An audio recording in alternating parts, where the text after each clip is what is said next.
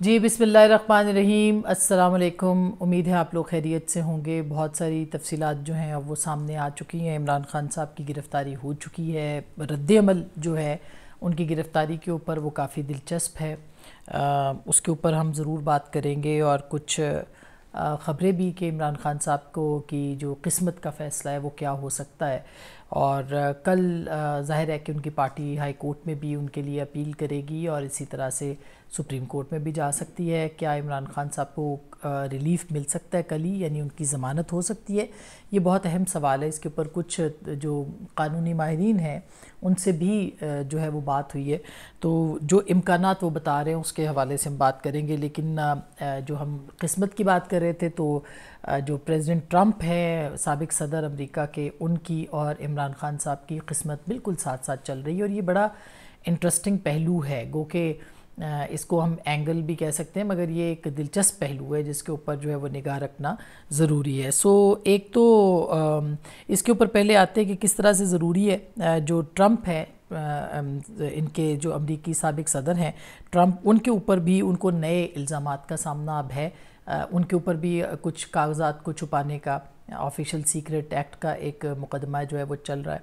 और इसी तरह से दीगर मामला भी उनके हवाले से काफ़ी हैं, जिनके ऊपर एक पे उनके ऊपर फ़र्द जुर्म भी आयद हो चुकी है। गो के उन्होंने अपने ऊपर जितने भी मामला थे उनकी उनको मुस्तरद किया है अपने ऊपर दो दो रोज़ कबल वो पेश हुए थे अदालत में और उन्होंने कहा जी कि मैं बेकसूर हूँ। इसी लेकिन आ, कहा यह जा रहा है कि अगले जो इंतबात होंगे उसमें आ, जो प्रेसिडेंट ट्रंप हैं सबक सदर अमेरिका के आ, उनके एलिजिबल होने के ऊपर सवाल उठ सकते हैं अहलियत के ऊपर सवाल उठ सकते हैं कि वो इलेक्शन लड़ सकते हैं या नहीं लड़ सकते। ये आपको याद होगा कि कैपिटल हिल के जो हमले हैं उनके इल्ज़ाम पर भी फ़र्द जुर्म आयद की गई थी और नई फ़र्द जुर्म जो है वो डोनल्ड ट्रंप ने की सरकार यानी जो सरकार, हुकूमत है उनकी मुदाखलत उसमें करने की कोशिश और अमेरिका को धोखा देने की कोशिश और हकूक़ को पामाल करने के साजिश के इल्ज़ाम जो हैं वो आयद किए गए। तो जुमेरात को, जो भी गुज्त जुमेरात था उसको ट्रंप जो थे वो वाशिंगटन में एक अदालत में पेश हो गए और उन्होंने ये ट्रंप पर ये इल्ज़ाम है कि उन्होंने 2020 के सदारती इलेक्शन के नतज के आने के बाद गैर कानूनी तौर पर अहदे पर बराजमान रहने की कोशिश की थी। अब ये देखिए हमारे यहाँ नौ से 10 अप्रैल की जो रात हुआ था वो भी गैर कानूनी तौर पर पाकिस्तान के अंदर बराजमान रहने की कोशिश की गई थी और आइन और कानून को पामाल किया गया था और इसी तरह के इल्ज़ाम ट्रंप के ऊपर भी हैं और उसकी इन्वेस्टिगेशन जो है वो उनसे हो रही है।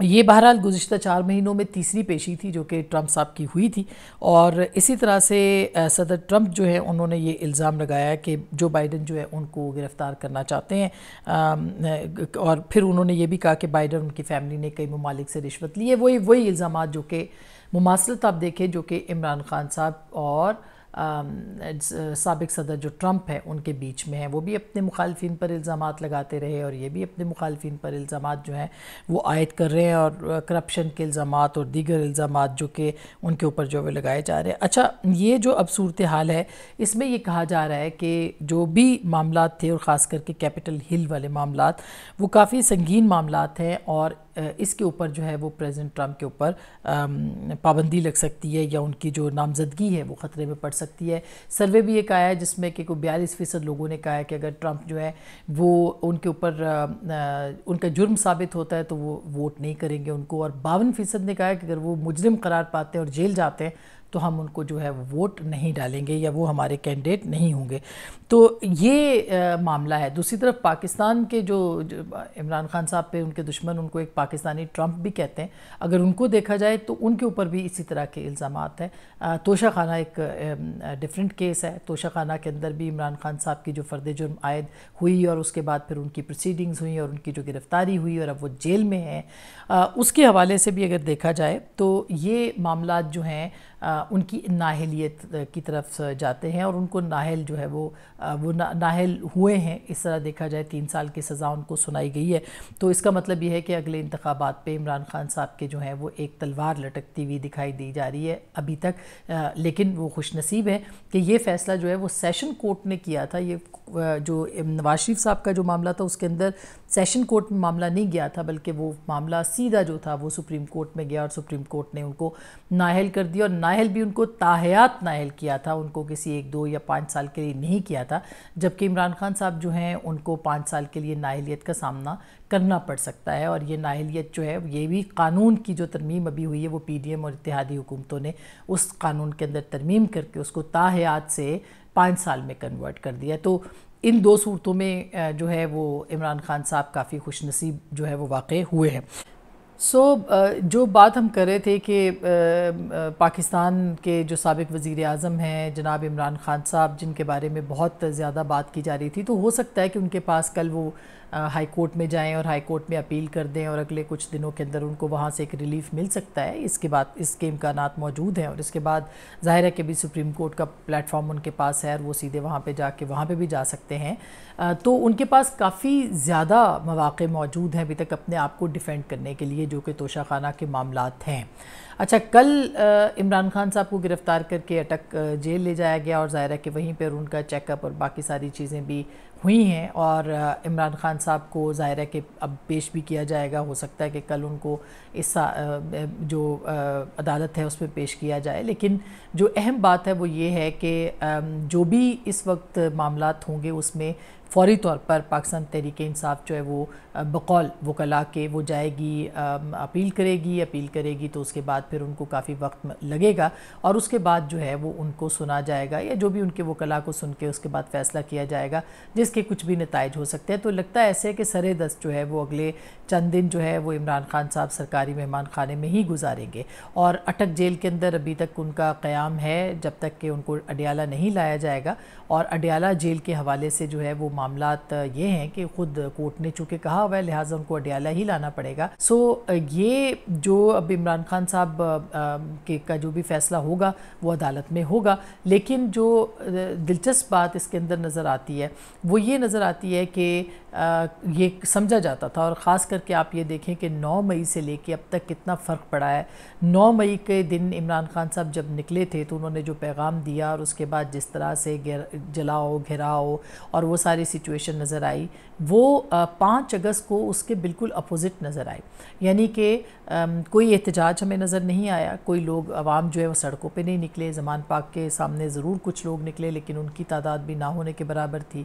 लिबर्टी के अंदर भी जो कि पहले ज़रा सी बात पे पीटीआई के जो कारकुन थे वर्कर्स थे वो सामने सारे आ जाते थे तो वो भी इस दफ़ा जो है वो कोई ज़रा सी भी कॉल जो है वो आ, हमें नज़र नहीं आती या किसी तरह की जो एहतजाज किसी तरह की मुजामत वो हमें कल बिल्कुल भी इमरान खान साहब की गिरफ़्तारी पर नज़र नहीं आती। हालाँकि एक दिन पहले जो उन्होंने खिताब किया था उसमें उन्होंने कहा था कि आप लोगों को अगर आज़ादी लेनी है तो आपको जदोजहद करना पड़ेगा और अगर मुझे गिरफ़्तार किया जाए तो आप, एहतजाज आपका हक़ है और मैं अपने लिए नहीं कह रहा, आइंदा आने वाली नस्लों के लिए कह रहा हूँ। और यही वो पैगाम है जो कि मुख्तफ सोशल मीडिया के नेटवर्क्स के ऊपर जो है वो चलाया भी गया था।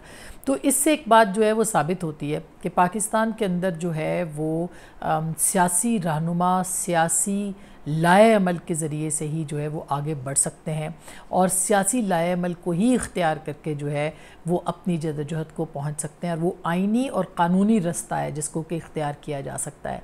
हो सकता है अटक की जेल के अंदर तन्हाई में इमरान खान साहब को, जिसमें जहाँ छिपकलियाँ भी होंगी उनको तन्हाई में ये सोचने का मौका मिले कि पाकिस्तान के अंदर एक पॉलिटिकल पावर एक जिस तरह से उनको मकबूलियत मिली, लोगों ने एक तब्दीली के नाम पे उन पर ट्रस्ट किया, उसको उन्होंने क्या किया? उस जदोजहद का उन्होंने क्या किया? उन्होंने कौन सा ऐसा आइनी कानूनी जो रास्ता है वो निकाला जिससे कि पाकिस्तान की जो सिविलियन डेमोक्रेसी है जो जमहूरीत है वो मकबूल हो मंजूर हो वो लोगों के काम आए या लोगों के लिए जमहूरीत मज़बूत एक फॉर्म ऑफ़ गवर्नमेंट के तौर पे जो है वो सामने आए। बल्कि हर वो काम उन्होंने किया जिससे कि एक जमहूरीत जो है उसको आ, उसको तकवीत ना मिले बल्कि वो कमज़ोर हो जाए।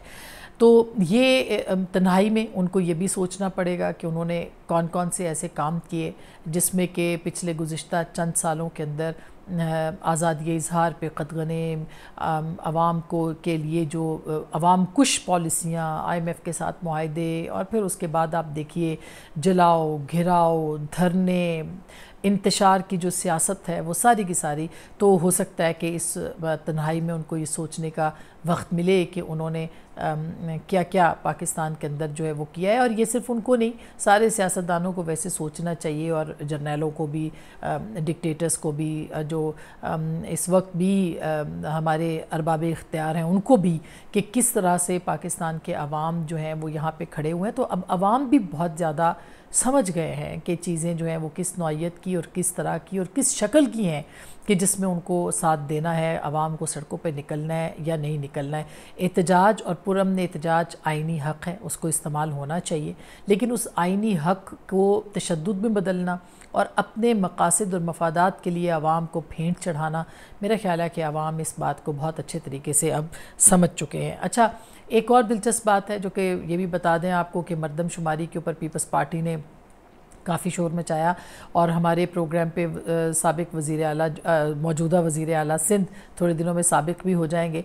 मुराद अली शाह साहब, उन्होंने ये कहा कि हम नहीं तस्लीम करेंगे और वोट नहीं करेंगे और उसके बाद आपने देखा कि यकायक पाकिस्तान पीपल्स पार्टी का जो रवैया है वो बदल गया। रज़ा रब्बानी साहब अपनी जगह पर एहतजाज कर रहे हैं। ताज हैदर साहब ने आज एक प्रोग्राम में, नादिर गुरमानी के डॉन टेलीविज़न के प्रोग्राम में, उन्होंने ये कहा कि हमने समझौता किया है और उन्होंने ये भी कहा कि हमारे हमने जो है ये गैर आइनी मीटिंग थी जो कि सी सी आई की कल हुई है और ये अगले आने वाली निगरान हुकूमतों के लिए रास्ता खोलेगी कि वो सी सी आई के अजलास बुलाएँ और फ़ैसले करें। तो ये बिल्कुल दुरुस्त पॉइंट्स हैं उनके लेकिन मेरा ख्याल है कि जो माजरत बहुत माजरत इंतहाई अदब के साथ के जो बा, मुक्का बाद में याद आए उसको ख़ुद को ही मारना चाहिए। और पाकिस्तान पीपल्स पार्टी अगर डटी हुई थी तो वो क्यों नहीं डट सकी? किन चीज़ों के ऊपर समझौता हुआ है? किस तरह से नई मरदमशुमारी को तस्लीम किया गया है? ये वो सारे सवालात हैं। जिनके जवाब हो सकते हैं आने वाले कुछ दिनों में मिलें। लेकिन बहरहाल एक बात का क्रेडिट भी जाता है कि पाकिस्तान पीपल्स पार्टी के सेनेटर्स कम अज़ कम अपनी ज़ाती हैसियत में ये सवाल उठा रहे हैं, ये बात ज़रूर कर रहे हैं और इसके ऊपर जो है वो कम अज़ कम एहतजाज भी कर रहे हैं। लेकिन हमारी ऑफ़ द रिकॉर्ड कुछ लोगों से बात हुई तो उनका ये कहना था कि इसके सिवा हमारे पास कोई चारा ही नहीं था क्योंकि इंतबात जो थे वो डिले हो जाते और वो तखीर का शिकार मज़ीद हो जाते। यानी अगर नई मरदमशुमारी के नतज जो थे वो उनको तस्लीम ना किया जाता तो फिर फिर भी मामला जो है वो लटक सकता था। तो इस मौजू को इस वक्त के जो मारूजी पाकिस्तान के सियासी हालात हैं उसके मुताबिक जो है वो हमें ये फ़ैसला करना था। तो बहरहाल ये फ़ैसला बहरहाल हो गया है अब नई मरदमशुमारी का और ये नज़र आता है कि ये हुकूमत की तरफ़ से ये डिलेइंग टैक्टिक्स हैं। ये हुक्मरान इतिहाद की तरफ़ से जो है वो एक तखीरी हरबे हैं इंतबात से जान छुड़ाने के लिए और ये तखीरी हरबे जो है वो इस्तेमाल किए गए हैं। नवाज़ शरीफ साहब की वापसी जो है वो भी इसी दौरान, ज़ायरा हो जाएगी। और आ, आ, शायद रास्ता एक बनाने के लिए भी इंतबात को आगे ले जाया जा रहा है। निगरान हुकूमत मज़ीद सख्त फ़ैसले करेगी। हो सकता है कि कहा जाए कि वो इतने सख्त फ़ैसले हो कि ये जो फ़ैसले थे पिछली हुकूमत के वो अच्छे लगने लग जाएँ तो एक रास्ता जो है वो मिले और अवामी मकबूलियत जो है वो हासिल की जा सके। ये पॉलिटिकल स्ट्रेटजीज़ हो सकती हैं लेकिन इसके ऊपर आइन के ऊपर कॉम्प्रोमाइज़ करना बिल्कुल मुनासिब नहीं था और अनफॉर्चुनेटली आइन के ऊपर कॉम्प्रोमाइज़ हुआ है। अपना बहुत ख्याल रखिएगा। हम आपके सामने ख़बरें लाते रहेंगे। अल्लाह ने के बाद।